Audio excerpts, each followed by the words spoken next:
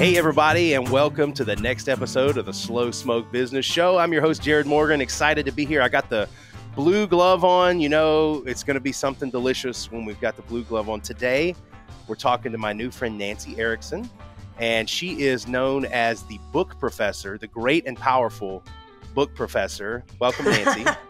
Thanks, Jared. Oh, I appreciate being here, and you're already making me hungry. Yeah, so, well, that's the idea, right? Uh, we're trying to make people hungry and motivated. I just made that up on the spot, but it sounds good. Uh, today, we're going to be doing some chicken skewers. I had actually always wanted to be a writer. And I had written a lot of stuff when I was younger, and I'd had a few things published. And so I thought, I'm going to bone up on those writing skills. So I went back to school and I got a master's degree in writing, a master's of fine arts.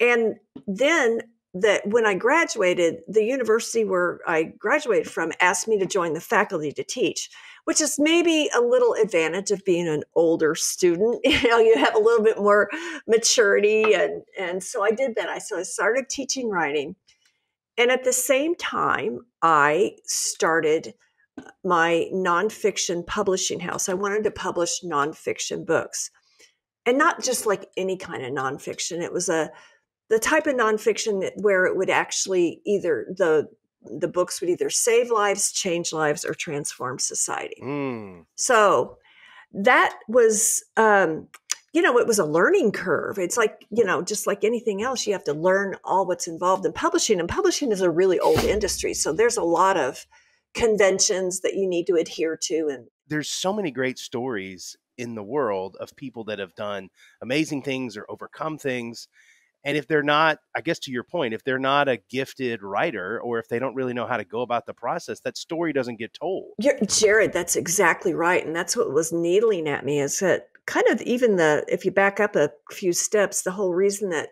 I even wanted to start doing this is because we, uh, you don't have to look around very far to notice that we have a lot of problems in our world. Sure. And it's even harder to name them, much less solve them. But I firmly believe that the answers are trapped inside of people like you and like your listeners. And that when you simply tell your story, what you've been through, what you've overcome, what you've developed, what processes you've created, that you become the source of two things that people can't live without. And those two things are hope and help.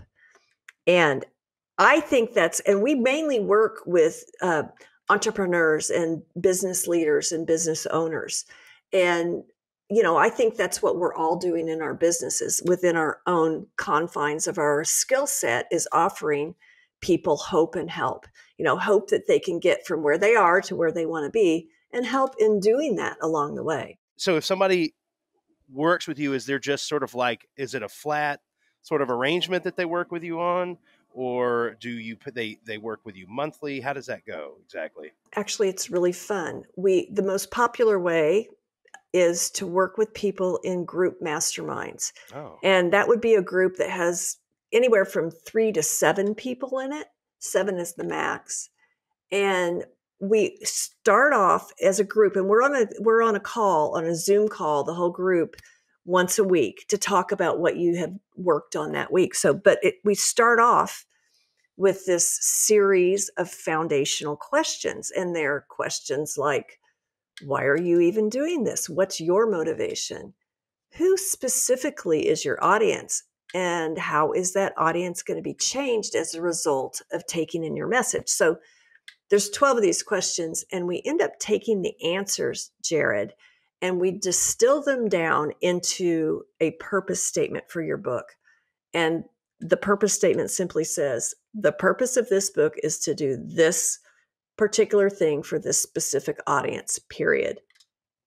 And the value of that is that is how what you use to prioritize what you put in your book. You can't put everything you know in your in a book. Yeah. It's just it won't fit. Right.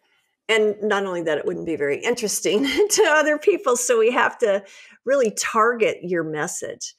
And so when you're thinking about what you might want to put in your book, you measure it against that purpose statement. And you think, well, does this really deliver the audience to realize the purpose? And if yes, then it's in. And if it doesn't really do that, then you set it aside. You might surprise yourself and write more than one book. Hey, if you like this slow smoke short, please check out the full episode that drops every Wednesday. It'll be the Wednesday after this one came out, and you can hear the whole interview in its entirety.